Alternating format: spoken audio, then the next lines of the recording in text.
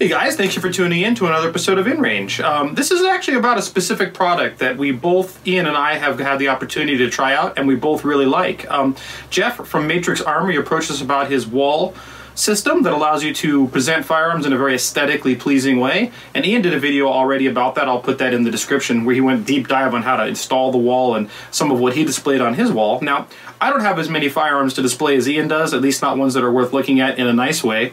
And so my wall is much smaller and I placed it higher up on the wall than Ian did. So what I wanted to talk to you today about is what I did with my Matrix Armory wall and how I installed it and some of the guns that I put on it. First, let's talk about what it takes to install the wall. So behind me, and continuing with our trend of pointing with interesting things, this is a World War I German butcher blade bayonet. You have a girder at the top, a girder on the bottom, you have these slots in the middle, or slats, and then you have wood to go between them, and then that's it. And then these little decorative pieces go up, and it looks gorgeous right off the bat. Getting this together was a piece of cake. Getting this whole wall up took me about an hour.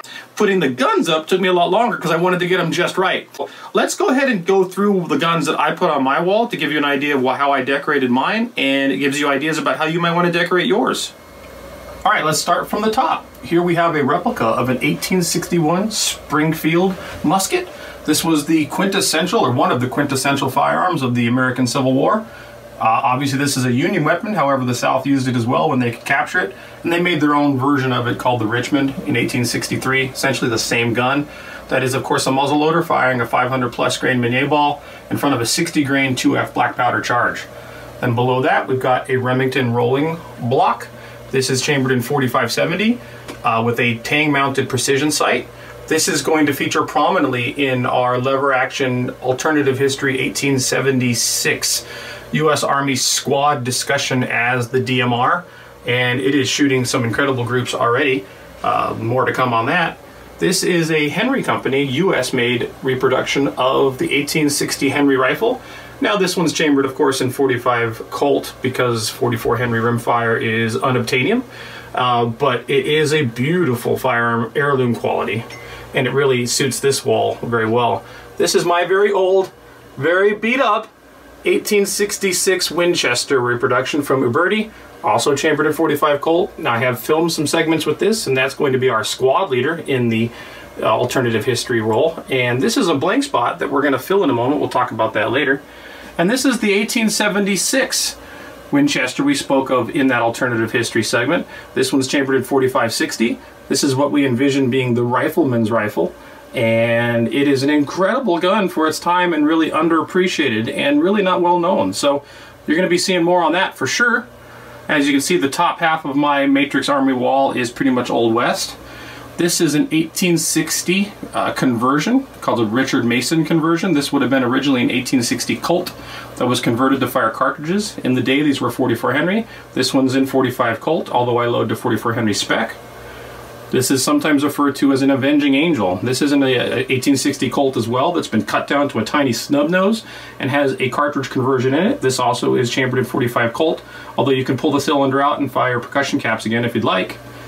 This is an Ivor, this is, excuse me, a Merwin and Hulbert uh, 38 Smith & Wesson. Uh, amazing piece of engineering, and I'm working on getting that gun running again. So we're now out of the Old West and going into some German equipment, and I'm starting from the newer to the older here. This is a 1943 BCD uh, Kar 98K in the ZF41 sniper configuration. Really more of a DMR than a sniper rifle. However, uh, pretty interesting gun and it shoots great. This is the carrying case for the ZF41 scope. And you can see I mounted that with just a little bar across from one of those guide rods on the Matrix Armory wall. You can do lots of stuff and mount things very creatively on here, and it's a neat way to put stuff up that isn't necessarily a gun directly, and so having the carrying case with the rifle makes a lot of sense.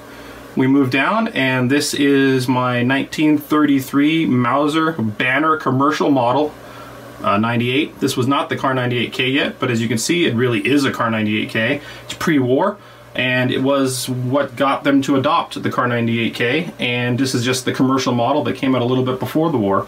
Now this one's particularly interesting because while it's a commercial model, it's got that X on it, and that X indicates Russian capture. So this was pushed into service on the Eastern Front, even though it was a commercial model made pre-war, and ultimately captured by the Russians in some uh, obviously lost battle for the Germans, of which they lost many, of course.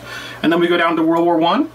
This is a essentially a Kar 98A AZ. This is World War One. This is a 1914 dual date stamp gun. So this one was made in 1914, but it also has a 1920 date stamp on it, showing that someone turned it in to the Weimar Republic under the legal requirement to do so. And when they turned them in, they put another date of 1920 on it, showing that they had been turned in legally. The other thing that's interesting about this is this gun had a uh, duffel cut right here, when I got it, I fixed that so I can use it. That duffel cut was done by USGIs when they would capture enemy weapons. They would cut the stock in half to get it into their duffel bag. And it also has a proof mark right here for the German Postal Service. I don't know if we'll be able to see that. Yep, there it is.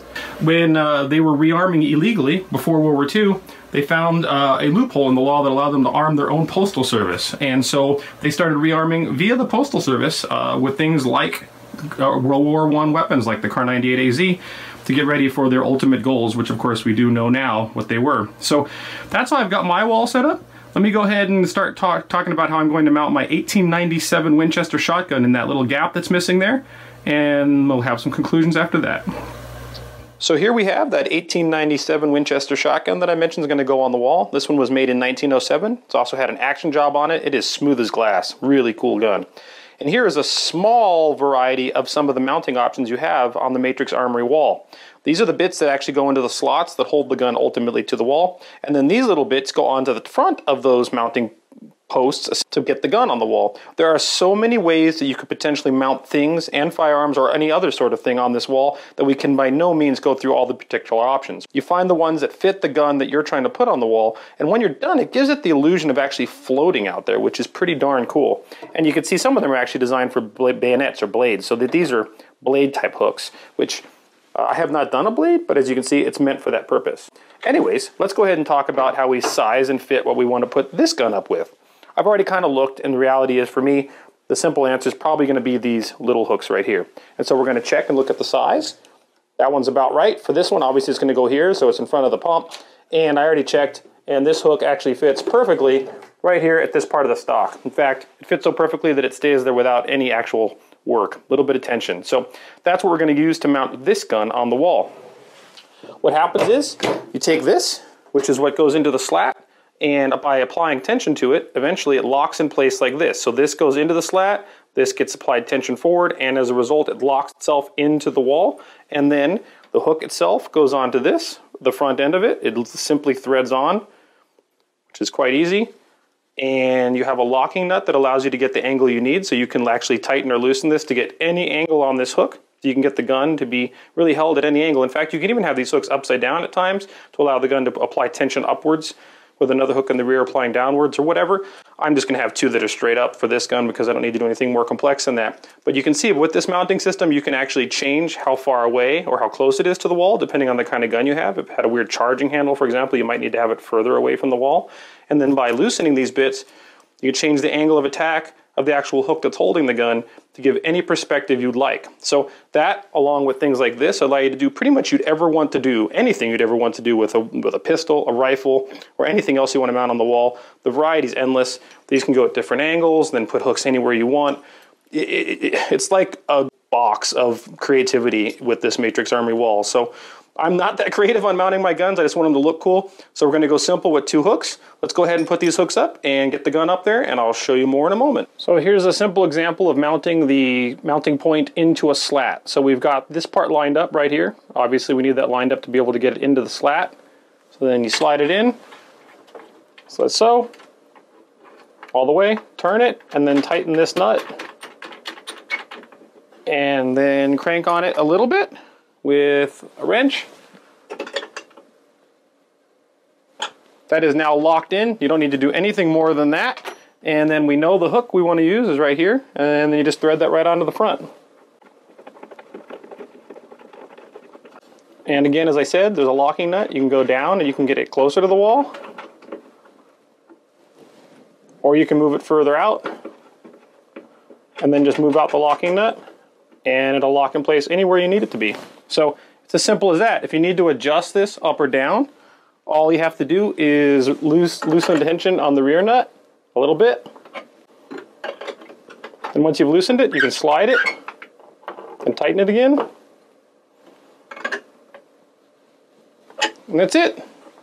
So that's how you get the gun even once it's in the wall. So these slats move up and down, and obviously you're going to find out where you're going to put the gun, wherever on the stock or barrel or wherever it's going to go. And if this happens to be a little canted or uneven, you can just adjust that, move it up or down until you have it nice and even, or however you want it to display. You could even have it at an angle if you'd like it to.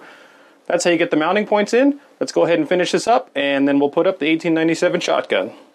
And boom, it's as simple as that. We now have the 1897 Winchester shotgun mounted on the wall, and the wall looks complete without any significant gaps. I guess I got some room right here and here that I could do some more, but I'm pretty happy with the way this looks. So, like I said earlier, we approached the beta test this wall, and I can tell you that both mine and Ian's experiences are that this is an exceptional piece of equipment. If you have some really cool pieces of history or some, some fine family heirlooms that you want to display in a more aesthetic way than just locking it in a dark box, the Matrix Armory wall is an excellent way to do it. Now, honestly, they're not cheap. However, neither are the guns. And so this is something for a specific niche application. It's only if you really want to have a presentation piece in your wall or turn some of your pieces of history into the decoration of your home. Now, remember, security is paramount. Make sure this is done in a secure way and in a secure place. But if you have that ability and you have a location like that, I can heartily recommend Jeff's Matrix Armory walls. And as you can see, it's really added a little bit of elegance to my rather destroyed and difficult to navigate hacker room. So guys, I hope you appreciate this kind of content. Thanks for watching and stay tuned.